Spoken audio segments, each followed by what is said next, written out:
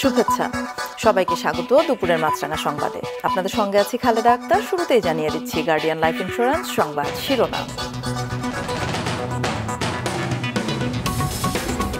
সকালে বইমেলার শিশু প্রহরে ছিল উপচে পড়া ভিড়, সিসিমপুরের প্রিয় চরিত্র দেখে উচ্ছ্বাস। বেনামি হুমকিতে বাড়তি নজরদারি। ব্রাহ্মণবাড়িয়ায় পুকুর ভরাট করে তৈরি হচ্ছে মার্কেট সহ বহুতল ভবন, শহরের পঞ্চাশ পুকুর এক দশকে ভরাট। হুমকিতে পরিবেশ ও জীববৈচিত্র্য। সাত বছর পর সিরিজ খেলতে বাংলাদেশে ইংল্যান্ড ক্রিকেট দল। তিনটি করে ওয়ানডে ও টি টোয়েন্টি খেলা হবে ঢাকা ও চট্টগ্রামে। শুনছিলেন শিরোনাম, এবার বিস্তারিত। একুশের বইমেলার শেষ শুক্রবার, শিশু প্রহরে ছিল খুদে পাঠকদের উপচে পড়া ভিড়। বই কেনা যেমন তেমন, সিসিমপুরের প্রিয় চরিত্র দেখেই উচ্ছ্বসিত শিশুরা। এদিকে গতকাল রাতে বাংলা একাডেমির মহাপরিচালককে বেনামে হুমকি দেওয়ার কারণে বাড়তি নজরদারি দেখা গেছে আইনশৃঙ্খলা বাহিনীর। আরও জানাচ্ছেন মহসিন আশরাফ। তখনও বেলা সাড়ে এগারোটা হয়নি। তর সইছে না ছোট্ট শিশুদের।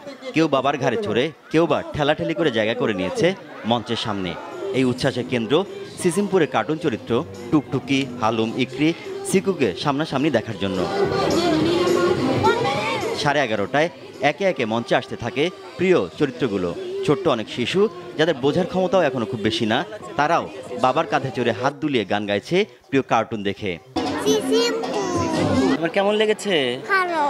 সিসিমপুর সিসিমপুর দেখেছ? কেমন লাগল? ভালো লাগল। কার্টুন চরিত্র দেখা শেষ। এবার বই কেনার পালা। বাবা মায়ের হাত ধরে এ দোকান সে দোকান ঘুরে বই কেনা। তবে কম বেশি সবারই পছন্দ ভূত আর কার্টুনের বই। বইগুলো খুব ভালো হয়েছে এবার। ম্যাজিক বইয়ে সুন্দর করে আঁকা যায়। আমার আমি বাম হাতে আঁকি। মানে আগে চুকি করি লেখি পড়ি। এটা মাম নাগা নাগিন বই সেকেন্ড টাইম বাট আমি ছোটবেলায় আসছিলাম ভুলে গেছিলাম। অমর একুশে বইমেলা শেষ শুক্রবার। এ কারণে যারা এতদিন আসতে পারেননি তারা আর দিনটিকে উপেক্ষা করেননি। বইয়ের সাথে পরিচয় করিয়ে দিতে নিয়ে এসেছেন সন্তানকে। আর ওর নাম প্রহর। শিশু প্রহরে আর কি প্রহরকে নিয়ে আসতে পেরেছি ভালো লাগছে। সারা বছর ওরা সিসিমপুরে যাওয়ার জন্য অপেক্ষায় থাকে। তো ওদের- জন্যই আসা আর কি। এদিকে গতকালের হুমকির পর সকাল থেকে বইমেলায় চোখে পড়ে নজরদারি। তবে এই হুমকি উড়োচিটে বলে জানাচ্ছেন আইনশৃঙ্খলা বাহিনীর কর্তারা। আমাদের নিরাপত্তা ব্যবস্থা যথেষ্ট আছে। আর এই ধরনের একটি চিঠির উপর ভিত্তি করে মানে পাঠক এখানে আসবেন না এই ধরনের আমরা মনে করি না। সবাই বিষয়টা বুঝেন যে এটা একটা নর্মাল চিঠিও হতে পারে। তো সুতরাং আমরা বলব যে তাতে পাঠকদের এখানে আসা কোনো শঙ্কিত বা পাঠক সমাজের কোনো শঙ্কিত হওয়ার কোনোই কারণ নেই। বইমেলায় প্রাণের এই উচ্ছ্বাস কোনো কিছু দিয়েই বইপ্রেমীদের দমানো যাবে না, শিশু প্রহরে এই উপস্থিতি তাই বলে দেয়। মহসিন আশরাফ মাছরাঙ্গা সংবাদ, ঢাকা। প্রধানমন্ত্রীকে বরণ করে নিতে প্রস্তুত গোপালগঞ্জের কোটালীপাড়াবাসী। উপজেলা আওয়ামী লীগের কালকের জনসভা ঘিরে এরই মধ্যে সাত সাত রব সেখানে। রাস্তায় সাজানো হয়েছে গেট ও তোরণ। ব্যানার, ফেস্টুনে ছেয়ে গেছে গোপালগঞ্জ মূল শহর সহ বিভিন্ন এলাকা। প্রধানমন্ত্রীর জনসভাস্থল তালিমপুর তেলিহাটি উচ্চ বিদ্যালয়ে নেওয়া হয়েছে নিশ্চিদ্র নিরাপত্তা ব্যবস্থা। মঞ্চ সাজানো হয়েছে নৌকার আদলে। কাল সেখানে আটচল্লিশটি উন্নয়ন প্রকল্পের উদ্বোধনের কথা রয়েছে প্রধানমন্ত্রীর। নেতাকর্মীরা বলছেন, কয়েক লাখ মানুষ সমাগমের প্রস্তুতি নিচ্ছেন তারা। জনসভা শেষে টুঙ্গিপাড়ায় বঙ্গবন্ধুর সমাধিতে ফুল দিয়ে শ্রদ্ধা জানাবেন প্রধানমন্ত্রী।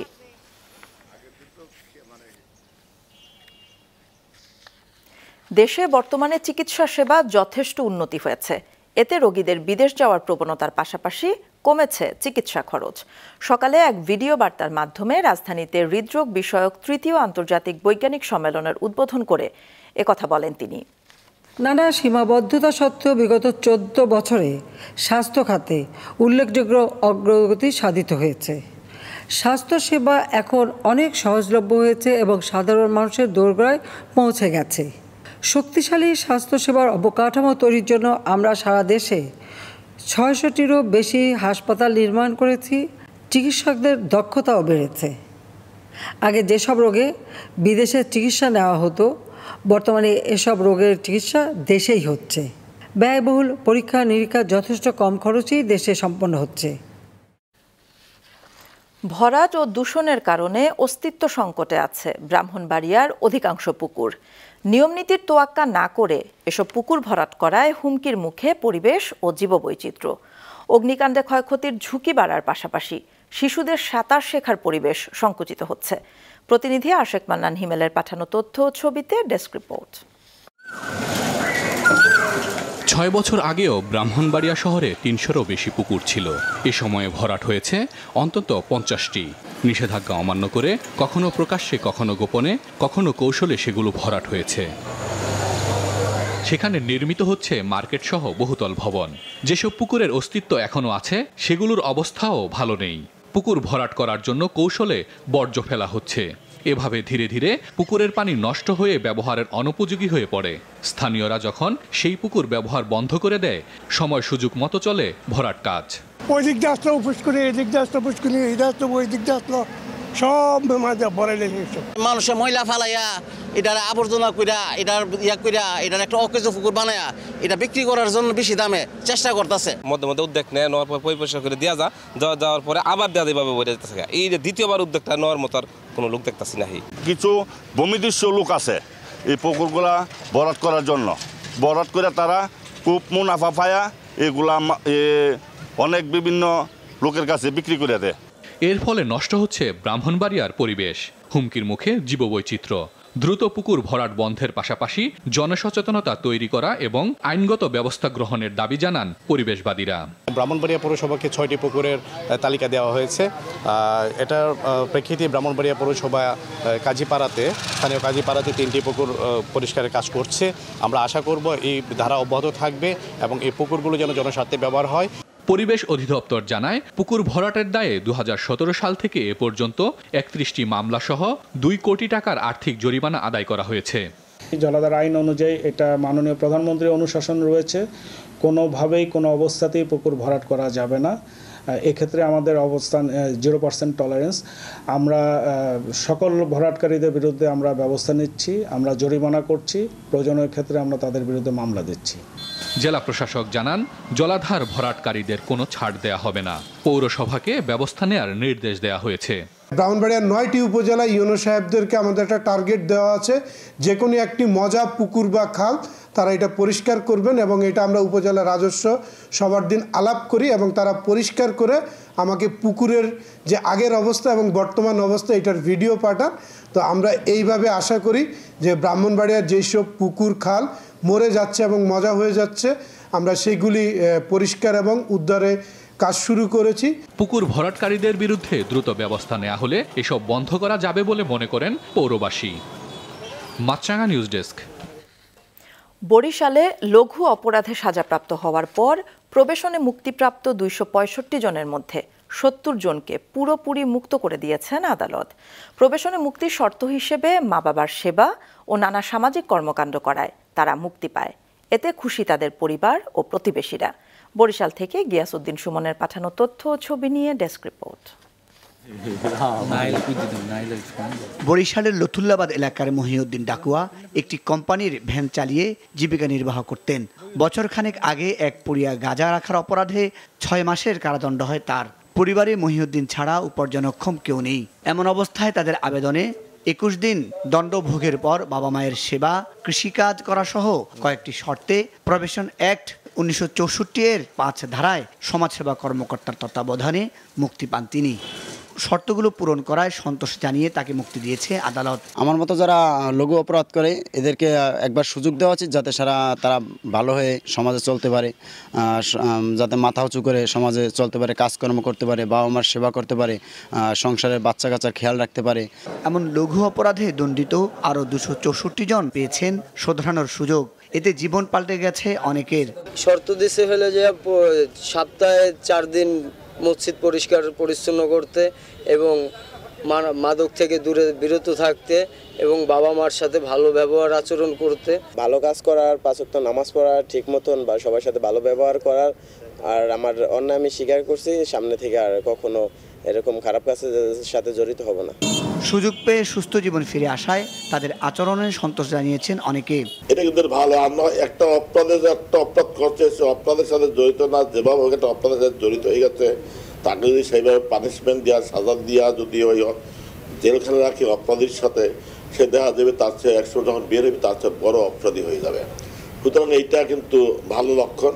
প্রবেশনে মুক্তি পাওয়া এই সত্তর জনের কর্মকাণ্ড সরাসরি তদারকি করেছেন সমাজসেবা অধিদপ্তরের সংশ্লিষ্ট কর্মকর্তা। দুশো পঁয়ষট্টি জন অপরাধী প্রবেশন মঞ্জুর করেছে যারা লঘু অপরাধ করেছিল এবং তারা সমাজে থেকে বাড়িতে থেকে ভালো কাজ করে এবং আদালত যে রায়গুলো দিয়েছিল শর্তাবলী সেগুলো তারা মেনে চলছে। এবং এই পর্যন্ত আমরা জেনে খুশি হবেন যে সত্তর জনের প্রবেশনে মুক্তি পেয়েছে। কারাগারে থাকা অন্য লঘু অপরাধীদের সংশোধনের সুযোগ দিলে তারাও সুস্থ জীবনে ফিরে আসতে পারবেন বলে জানান মুক্তি পাওয়া এই মানুষগুলো। Maasranga news desk. বান্দরবানের থানচিতে বৃষ্টি পাহাড়ে অভিযান চালিয়ে ৪৫ একর পপি ক্ষেত ধ্বংস করেছে বিজিবি। বলিপাড়া ব্যাটালিয়নের অধিনায়ক লেফটেন্যান্ট কর্নেল খন্দকার মোহাম্মদ শরীফুল আলম জানান, গোয়েন্দা তথ্যের ভিত্তিতে গতকাল থানচি উপজেলার কোঅংপাড়া এলাকায় অভিযান চালায় আটত্রিশ বিজিবি। বৃষ্টি পাহাড়ে অভিযান চালিয়ে ৪৫ একর পপি ক্ষেত স্থানীয় জনসাধারণের উপস্থিতিতে ধ্বংস করা হয়। তিনি আরও বলেন, পাহাড়ে মাদক নির্মূলে কাজ করে যাচ্ছে বিজিবি। তারই ধারাবাহিকতায় পপি ক্ষেত ধ্বংস করা হলো। এ ধরনের অভিযান অব্যাহত থাকবে বলে জানান তিনি।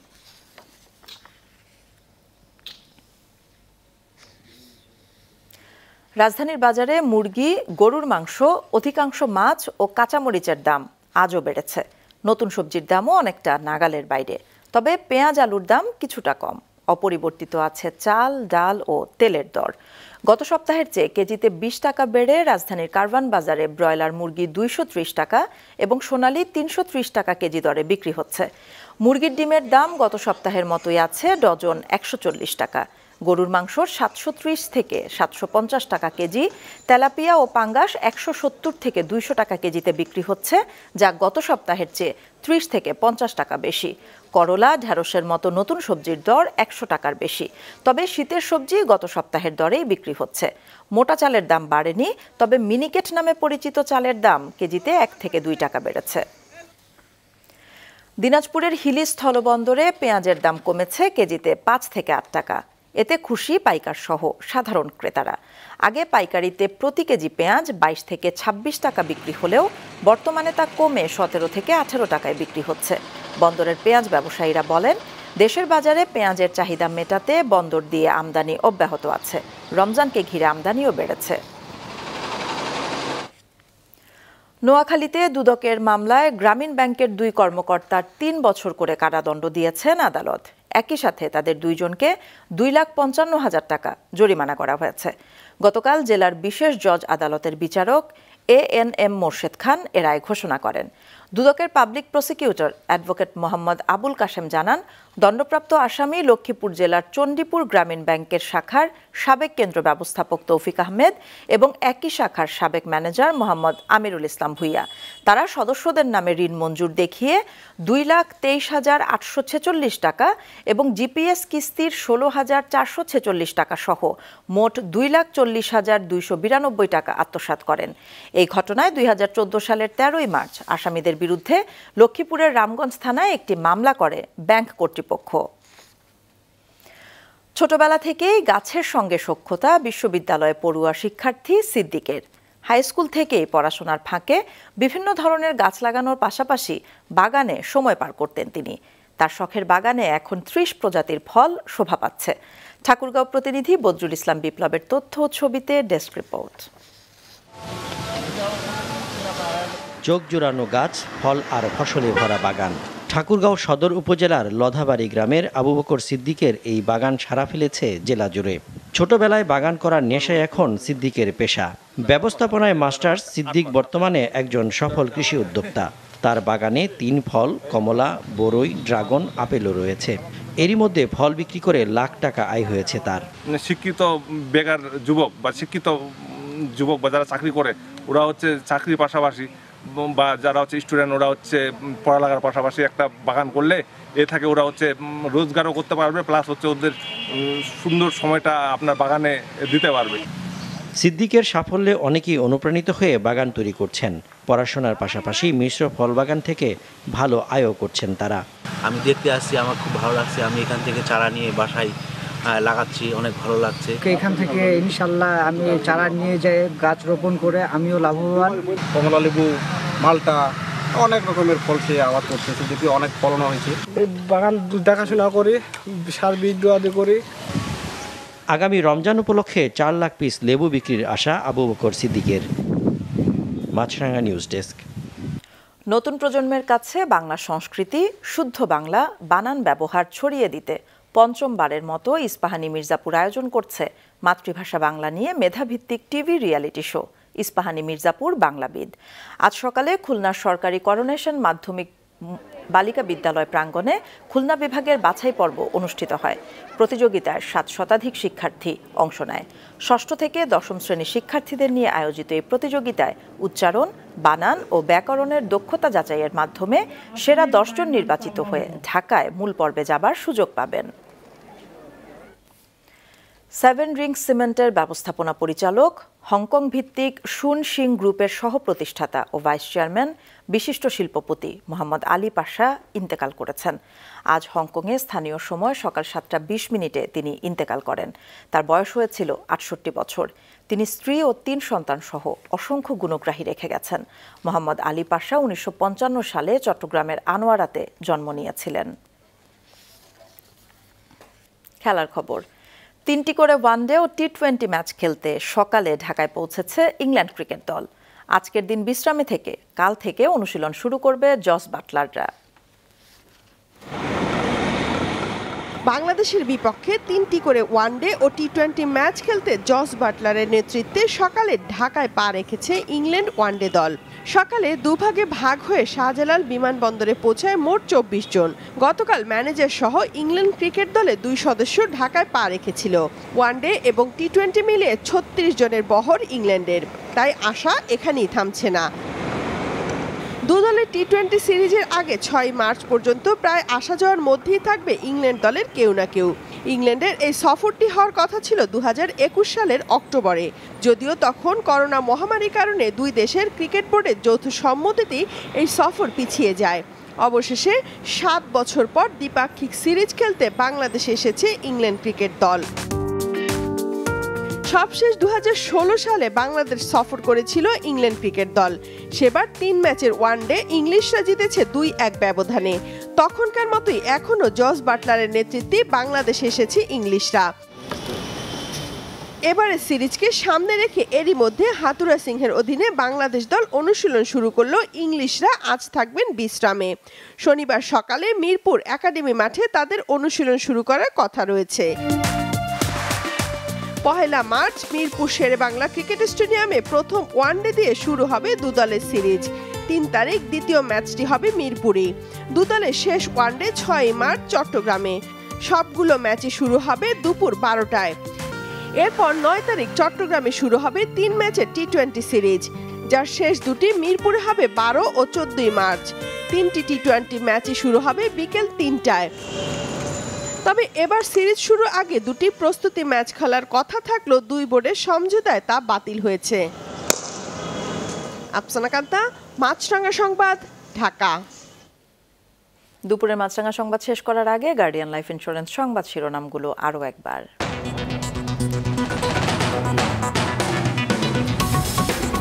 সকালে বইমেলার শিশু প্রহরে ছিল উপচে পড়া ভিড়, সিসিমপুরের প্রিয় চরিত্র দেখে উচ্ছ্বাস। বেনামি হুমকিতে বাড়তি নজরদারি। ব্রাহ্মণবাড়িয়ায় পুকুর ভরাট করে তৈরি হচ্ছে মার্কেট সহ বহুতল ভবন। শহরের পঞ্চাশ পুকুর এক দশকে ভরাট। হুমকিতে পরিবেশ ও জীববৈচিত্র্য। সাত বছর পর সিরিজ খেলতে বাংলাদেশে ইংল্যান্ড ক্রিকেট দল। তিনটি করে ওয়ানডে ও টি টোয়েন্টি খেলা হবে ঢাকা ও চট্টগ্রামে।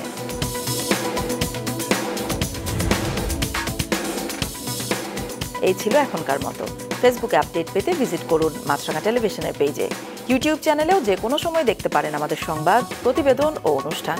দর্শক, করোনা সংক্রমণ কিন্তু চলছেই। পাশাপাশি বাড়ছে বায়ু দূষণ, তাই বাইরে বের হলে নিজে মাস্ক পরুন, অন্যকেও পড়তে উৎসাহিত করুন। আমাদের পরবর্তী সংবাদ বিকেল পাঁচটায়। দেখার আমন্ত্রণ রইল।